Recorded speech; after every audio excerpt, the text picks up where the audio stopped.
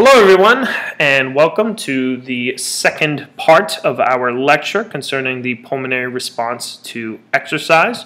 In our first video, we talked about how we move air in and out of our lungs, and we determined that the respiratory muscles are going to help change the volume of our lungs, which will help change the pressure inside. And when the pressure of the alveoli becomes less than the atmosphere, we will inhale air and then when the pressure on the inside becomes greater than the atmosphere, that's when we're going to exhale air.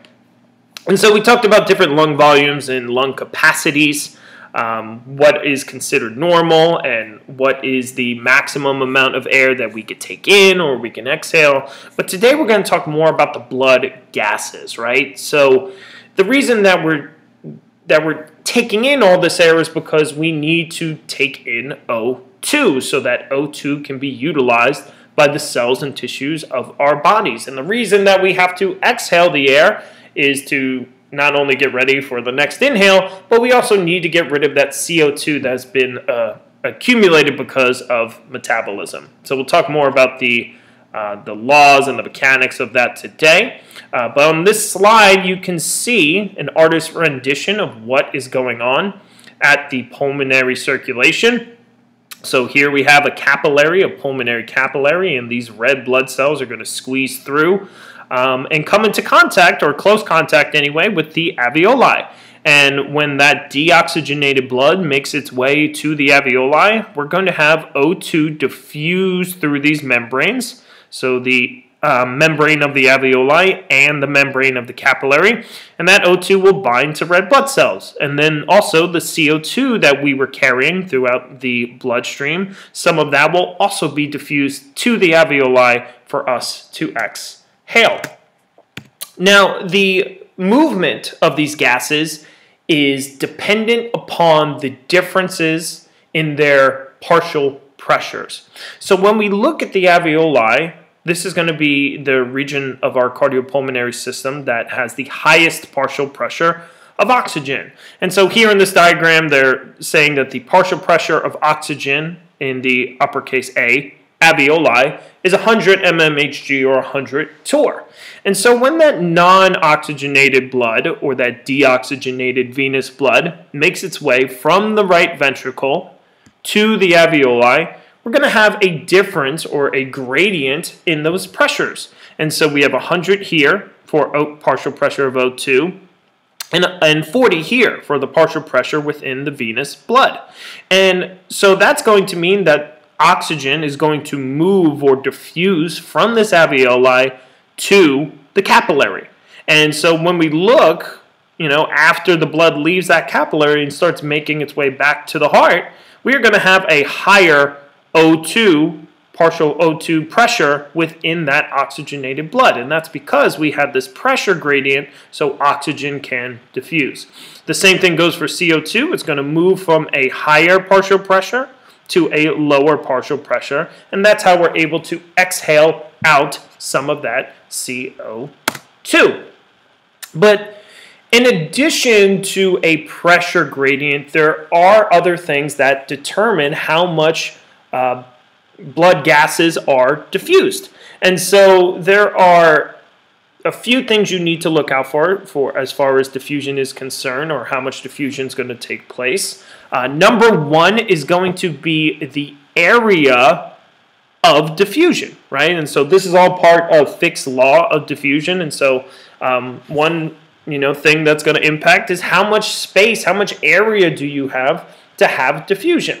The more alveolar um, area that you have, the more potential you have for diffusion to take place. So bigger the lungs, the bigger the alveolar space, the more area, the more O2 and CO2 that can be diffused. And so you may ask, well, why would this change at any point? Well, one, you know, it's going to vary based on your size. But two, if you think about the negative health outcomes that um, are present in those with poor behavioral lifestyle choices, like smoking, for example.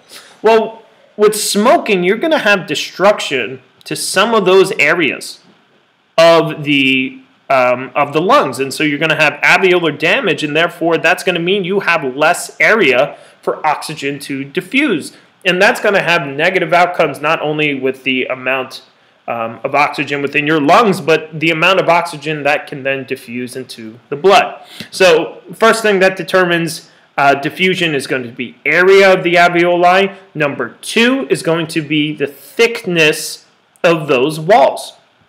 So, the thicker the wall, the harder it is for that gas to diffuse. And that's why, again, we want to try to prevent people or stop people from smoking. Uh, because one of the outcomes of that is that you have an increase in alveolar wall thickness. You get more fibrotic um, alveolar tissue, and then you also have mucus buildup uh, around the lungs because of that increased inflammation. And that makes it harder again for oxygen to diffuse. And then, third, the you know, what's going to dictate that diffusion again is going to be pressure gradient, which is pressure 1 minus pressure 2. The bigger gradient that you have, the more blood gas that will diffuse. And so oxygen, as we know, does not diffuse as easily into the blood as carbon dioxide. And so that's why when the O2 is being transported from the lungs, from the alveoli, to the bloodstream, it needs to bind itself to red blood cells, right? So here we see a microscopic view um, of our alveolar tissue, this you know clear empty space here, and then we see all the blood capillaries um, that are going to surround these alveoli, right? And here, these little dots you see, those are red blood cells that are actually coming into contact with the alveoli. And the more red blood cells and the more surface area you have, uh, between the capillaries and the alveolar space, the more diffusion you're going to get. And therefore, you can uh, increase the amount of arterial oxygen content. All right, so here we see a graph to the right, and this down below is going to be the time in the capillary. So how much time is that red blood cell going to spend in contact with the alveoli? And here we have the partial pressure of O2. And so we know that, you know, after we use the oxygen um, from the blood, that we call that blood now is deoxygenated. And so, um, you know, we also have a name for that called mixed venous blood, right? So this venous blood is going to have a lower O2 content, as you could see right here at around 40 mmHg than the arterial blood because we've used some of that oxygen. Some of that oxygen has been diffused from the blood to the cells. And so when the mixed venous blood makes its way back to the vena cava, back to the heart, and it gets pumped to the lungs, well, that pressure at the lungs is going to be significantly higher at 100 mmHg, right? So that alveolar PO2 is much greater than the mixed venous PO2, and that's how we get diffusion from the lungs to the blood. And so at rest, that VO2, what we're actually you know, using is going to be determined by blood flow. How much blood can we get to the lungs? Um, but, you know, as you are exercising, blood is going to be pumped out at a quicker rate, and more of it is going to be circulated, you know, because we're increasing our cardiac output. So the time, right, that that red blood cell, while at rest, it may get a, you know, a full 0.75 seconds or a full second to make contact with the uh, alveolar cells, right? But during exercise, that time span is going to be reduced a little bit right? So here we see that reduced contact time, and when we're looking at the oxygen content of the blood, it will reduce our PO2 just by a little bit. Now, not to a great degree, and we do make up for it with the increased cardiac output and the increased metabolism. But again, because of that decrease in time that the uh, red blood cells are spending in contact with the alveoli, it can partially reduce uh, the oxygen content of the blood. And that's why in elite athletes, the VO2 is part- partially uh, diffusion limited um, because they are pumping out large quantities of blood flow. right? And so that's not the thing that's really restricting VO2. What's restricting VO2 uh, partially is that is that time spent in the alveoli. So this can partially, again, it's not like a major thing, but it can affect the O2 content of the blood when those uh, red blood cells do not spend as much time in contact with alveolar PO2. But um, you know, what you have is that when we then, you know, pass that blood from the venous circulation to the lungs, well, then when we look at the arterial O2 content, it's going to be very, very similar in a healthy person to the alveolar O2 content. And so a lot of times you'll see alveolar partial pressure of O2 is going to be roughly around 100, and then the arterial uh, partial pressure of O2 is going to be normally around 100 because it reaches sort of an equilibrium, and then that oxygenated blood can pass through the rest of the body. And so at VO2 max, how does blood, uh, how does the blood transport oxygen to the working muscles? And so our VO2 max is around 3.5 liters per minute on average, and our cardiac output max is around 25 liters per minute. So if you do the math, that means each liter of blood must unload 140 milliliters of O2 per minute. But not all of the O2 is unloaded from the blood. If you took the O2 content of venous blood, you are going to have some oxygen in it. So even though we call it deoxygenated blood, there's still a small pressure of O2 there. But the important thing is going to be to maintain the partial pressure of O2 in the blood. So we have that big pressure gradient between the arterial blood um, and the cells. So again, it's that pressure gradient that's most important.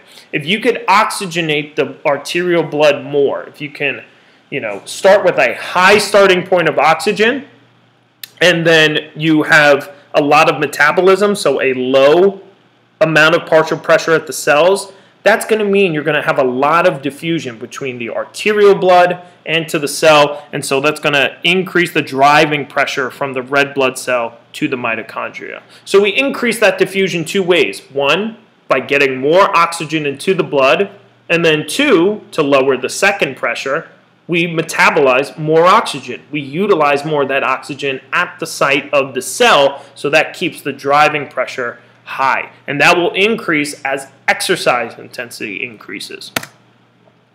So here we see the oxygen, uh, sorry, the hemoglobin dissociation curve.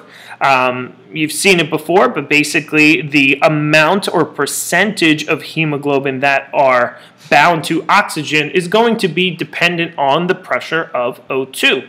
So here, as we see, um, the partial pressure of O2 of 100, which is going to be, you know, what it should be at the lungs, we're going to see 95% or above of hemoglobin saturation, right? And so um, now, you know, I, I won't have you, re- you know, I won't require you to know all this math off the top of your head, uh, but basically, we transport oxygen through red blood cells the amount of actual dissolved O2 here in the blood plasma is very, very, very limited. We carry 99% of our O2 through hemoglobin.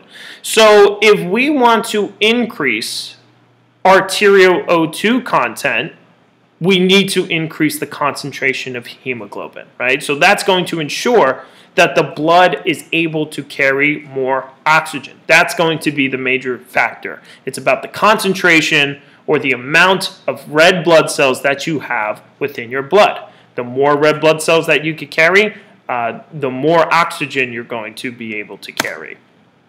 And so maximum O2 that can combine with hemoglobin is called your O2 carrying capacity. And so again, the math isn't necessarily critical, uh, but working it out, one gram of hemoglobin combines with 1.4, uh, 1.34 milliliters of oxygen, and so average hemoglobin um, is around 15 grams per deciliter of blood. So therefore, when you do the math, your average carrying capacity is around 20.85 milliliters of O2 per deciliter of blood. Uh, this can change if you know, based on gender. Um, you guys have probably discussed the female athlete triad before. Um, so maybe lower in females and actually in trained athletes as well. Um, but again, that's probably a discussion for another video. Um, but you calculate the O2 carrying capacity by, again, the level of hemoglobin. So this is going to be the probably one of the most important factors when it comes to how much oxygen can be transported through the blood. That's going to rely on how much hemoglobin is within the blood stream. And so, of course, it's not the only thing that comes into consideration when you're discussing the O2 content of the blood. But when you look at things like alveolar O2 partial pressure, and the percentage of hemoglobin bound to um, oxygen. This provides a very limited information on the content of the blood. And one example that we could prove that, hey, it's really more so about the amount of hemoglobin you have than compared to the percentage of them that are bound or, or the um, level of oxygen in the lungs is anemia, right? And so anemia is a um, disorder where there isn't as much production of iron. And we know that red blood cells, the way that they are able to carry oxygen is because they have these heme groups, right? So if you don't have that ability, um, you know, if you have low iron count and you're not able to, you know, produce those heme groups, um, you know, you're going to have a lower O2 content in your blood. But but anemia you know, doesn't, oh, let me change this here because that's wrong. But anemia doesn't affect the amount of oxygen coming into the alveoli, nor does it affect the relative percentage of O2 bound to hemoglobin. What anemia does impact is, again, the concentration of hemoglobin. So not how much is being diffused, not the percentage, but how much total content there is. So there is a reduction in O2 content, not because of, of alveolar partial pressure or the actual relative percentage, but the content is going to be reduced through the amount of hemoglobin concentration that there is, right? So you can calculate O2 content and you need to use the saturation of O2. You need to um, you know, take into consideration the amount of alveolar PO2, but overall, the thing that's going to determine the amount or the carrying capacity of your blood is going to be that concentration of hemoglobin. Um, so, you know, you could work uh, these out here on your own, but you could calculate O2 content based on these different factors. So, if you have the alveolar O2 concentration, if you have the saturation of oxygen. And again, that most important factor here, the concentration of hemoglobin, you're able to calculate how much oxygen we're able to move per liter of blood. And so there are things that also impact the transport of oxygen within our bloodstream. And that's other factors that include acidity or pH, the partial pressure of carbon dioxide, temperature, and a byproduct of glycolysis called biphosphoglycerate, or BPG. And so here we see the normal um, O2 dissociation curve. But when we have changes in CO2, in pH, in BPG, in temperature, it is going to impact this dissociation curve. Uh, so we'll focus on CO2 first, and then we'll sort of relate that to exercise because we're going to experience during exercise what is called the Bohr shift, right? So if I talk about CO2, which is a byproduct of metabolism, well, if I am working out and I'm having more skeletal muscle contractions and I'm burning through more energy, and I'm going to have a higher production of CO2.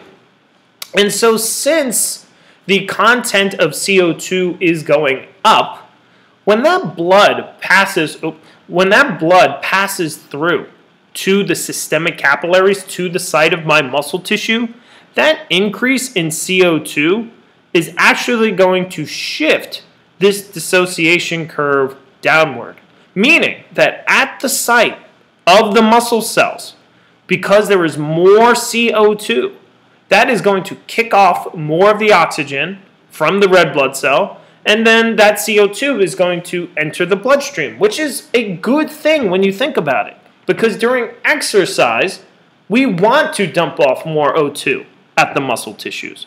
So if we're driving up that CO2 content, it's going to kick off more oxygen from the red blood cells, and that's going to be able, you know, to help increase metabolism during physical activity.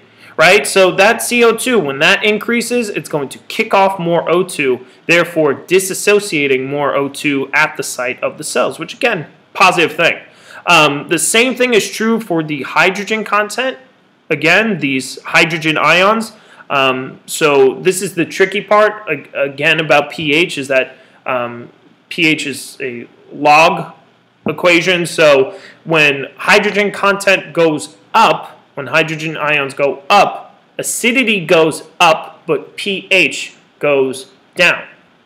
But again, a byproduct of metabolism is that we're going to have more of those hydrogen ions. Uh, so when that pH at the cells goes from 7.4, which is at normally, and during exercise, the acidity of the blood, especially within that region, can decrease. Well, that increase in acidity is going to lead to more oxygen dump off, right? And the same thing is true with temperature as well.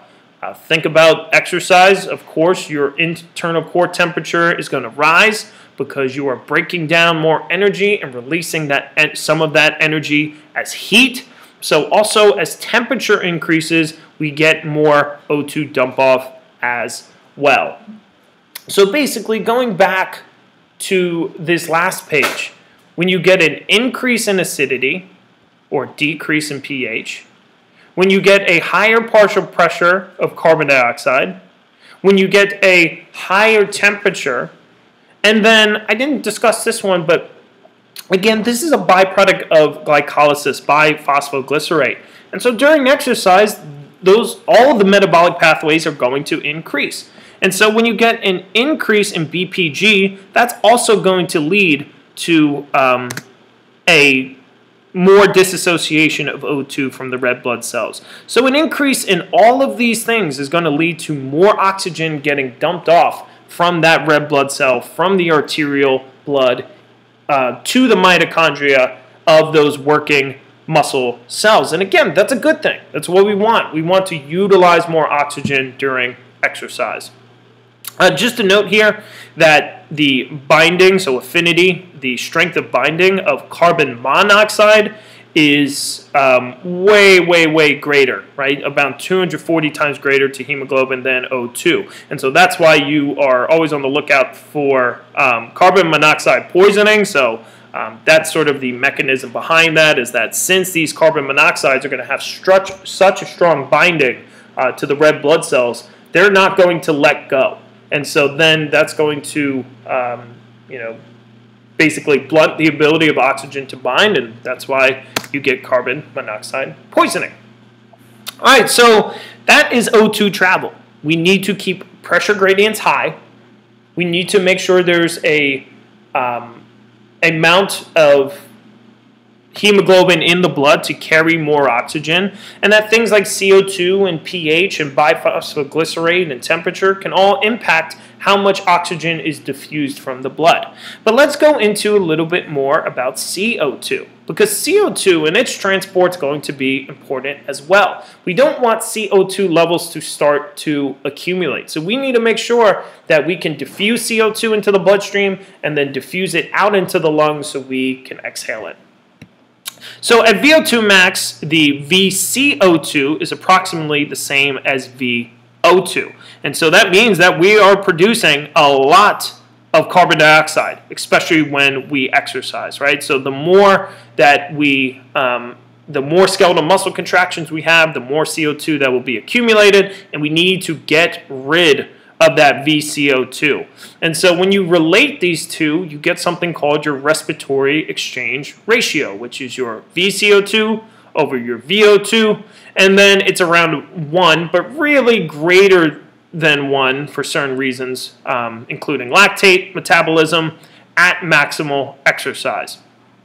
So if you're not at that steady state, just like I said, that VCO2, the amount of CO2 that you produce, is going to uh, go up. And so the red blood cell must also load one, uh, 14 milliliters of CO2 to eliminate at the pulmonary capillary. So we're taking in roughly 14 milliliters of CO2 per deciliter, and then we're getting rid of that same amount because we're trying to keep a balance within the body. Um, but the difference is that red blood cells can be dissolved in the actual blood plasma itself. And we're going to talk about all the ways that we do transport CO2. But again, it's important to get out that CO2. We want to get rid of it. Um, so it's going to be traveled throughout our bloodstream um, in order to get rid of it. And so here is how we get rid of CO2, or sorry, how it's transported um, through the blood. And so 7% is actually dissolved in the plasma. And then we have uh, 23%, which is going to attach itself um, to the different proteins within our blood, is particularly the red blood cells. So some of that carbon dioxide um, will attach itself to red blood cells as well. But most of the way that we carry our carbon dioxide through our bloodstream is called bicarbonate. And so bicarbonate is created um, through an enzyme called carbonic anhydrase. And so what you're going to have as a byproduct of metabolism is some CO2, and then you also, through the electron transport chain, get the um, production of metabolic water. And so in order for this CO2 to be transported throughout the bloodstream, and in order not to raise CO2 levels too high, what we do is we are going to combine this CO2 and this H2O in carbonic anhydrase in that enzyme to create first something called carbonic acid. And so CO2 plus H2O makes carbonic acid. And then this hydrogen ion is going to be kicked off from carbonic acid to make this end product here called bicarbonate. And so again, that takes place um, through the enzyme called carbonic anhydrase, and that's located within the red blood cell. So just skipping ahead, we see that you know the CO2 that is made in the systemic tissue, uh, some of it is dissolved within the bloodstream, but then some of it is going to be uptaken by the red blood cell. Some of that CO2 will just combine, um, you know, to hemoglobin, but then again, here we see that reaction that we just talked about and how most of our CO2 is going to be transported. So CO2 combines with water and carbonic anhydrase, produces that carbonic acid. Uh, the hydrogen proton uh, will stay in the red blood cell while the bicarbonate goes back out into the blood plasma and then gets transported back to the lungs. And so you know, this bicarbonate diffuses out of the red blood cell, but again, the hydrogen cannot. And the thing is that, you know, we have to be very careful when it comes to physiology and introducing charges, right? So charges of different elements. So hydrogen comes along with that positive charge. And we know that pH can really disrupt some of our physiological processes and the um, binding or in our protein structures, right? So in order to make sure that we don't have um, too much addition of positive charges, we need to balance that out with negative charges. And so we have then, since that um, hydrogen is going to stay bound to the red blood cell as we transport carbon dioxide to the lungs, we're also going to have a diffusion of chloride to match that positive charge with a negative charge. And that's called the chloride shift. Um, and so you know, again, when we increase that amount of hydrogen that is being produced, um, that's going to kick off some of that O2. And so that's going to help unload some of that O2 from the blood, um, and that O2 will be diffused through the tissues. And so here we see a diagram of this again, so that carbon dioxide will combine with water, um, eventually make bicarbonate hydrogen, uh, that bicarbonate is going to um, go into the bloodstream, hydrogen will stay along, and then there will be a chloride shift in order to balance out the charges. And then what's going to happen is when we make our way back to the lungs, right, that bicarbonate that is being transported here to our uh, pulmonary circulation, it's got to make its way back to CO2. Uh, but luckily, going back here, that this enzyme, carbonic anhydrase, as you can see um, by the chemical equation here, not only does it take this reaction in the forward direction, um, making bicarbonate from CO2 and H2O, but it also, the same enzyme will take this in the reverse order as well. So from um, from bicarbonate and hydrogen, we're going to have that bicarbonate go back into the red blood cell. It will make uh, carbonic acid and then separate back into CO2 and H2O. And that CO2 and H2O, that's what we exhale. That's what we breathe out. And then the process can begin all over again with oxygenating the blood, transporting it out to the tissues. Um, O2 gets dropped off, CO2 gets picked up by the blood. We you know, convert some of that CO2 to bicarbonate, and then when we make our way back to the alveoli, that CO2, that H2O is released. So that's pretty much it uh, for this lecture. So we talked about a lot here today. We talked about uh, what maximizes the diffusion of blood gases. We talked about how you can carry more O2, and that's going to be through increased hemoglobin uh, concentration. We talked about O2 dump off and the things that can uh, increase or decrease O2 dump off, including CO2, pH, uh, temperature, and biphosphoglycerate. And then we talked about the transport of carbon dioxide as well. Uh, so in our next lecture, we're actually going to talk about a cool topic. We're going to talk about altitude and the changes that our body must take in order to adapt to altitude. And we'll try to come at it too from a athletic perspective, um, and see, you know, some of the recommendations in the past about training high or sleeping low. You know, what is the basis behind those recommendations? Thank you guys so much, and I will see you next lecture.